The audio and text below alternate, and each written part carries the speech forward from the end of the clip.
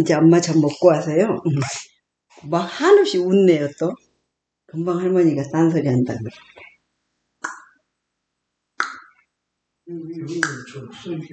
아, 그, 이제 얼굴, 눈 맞추려고 그러고요. 그런데 지금 엄마한테 젖 먹고 와서, 미어놨다 끄 하면서 막 웃더라고요. 할머니가 또, 응? 야. 엄마가 12번도 거짓말 한다더니, 할머니가 또 거짓말 하게 됐네. 금방 막 웃더니, 어, 보여요? 아, 저기다 갖다 놔. 그럼 내가 쌀게요.